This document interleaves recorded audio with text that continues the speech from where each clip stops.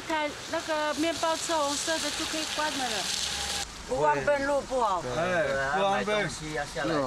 台二十线南横公路下马往立道路段，在十月间因为台东连续暴雨造成道路中断，下线落差将近三层楼高。关山公路段抢修后只能勉强通行，为顾吉利道和雾路村族人交通往返的安全，公路段开始施作上下边坡防护以及道路重建工程，并实施交通管制。这条路是最漂亮的，结果是台风一过就最丑的，然后最乱的啊！关山公路段跟那个包商的说，尽量赶快做一做，给村民方便，因为。过几天又有圣诞节，他们的那个蔬菜也要可以那个呃砍了嘛，可以卖了啊。就是如果这个路不修好，就会对他们来讲是不方便啊。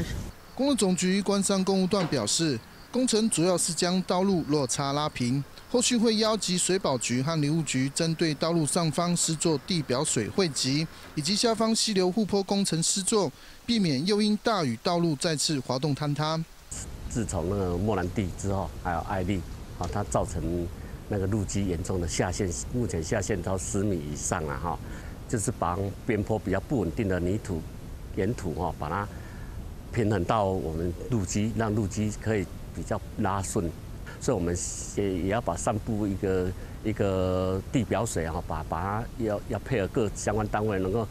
配合我们哈，还要大家共同把那个边坡的水把它克服住，我们的路基就会比较安全。交通管制时间从每天上午八点到十二点，以及十二点半到傍晚四点半。关山公路段表示，目前管制的时间先实施一个星期，之后再看地方需求和施工状况，再增通车时间。工程预计一个月完成。记者李邦台东海端采访报道。